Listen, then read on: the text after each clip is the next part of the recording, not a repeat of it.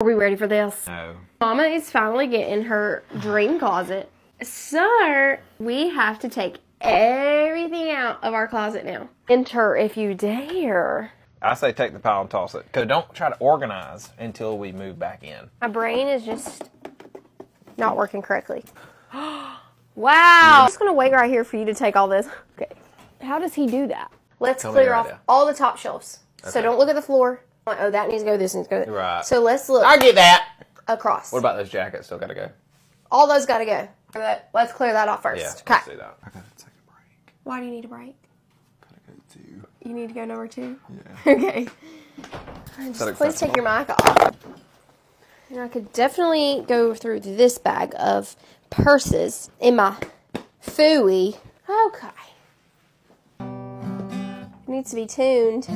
Finally got it done.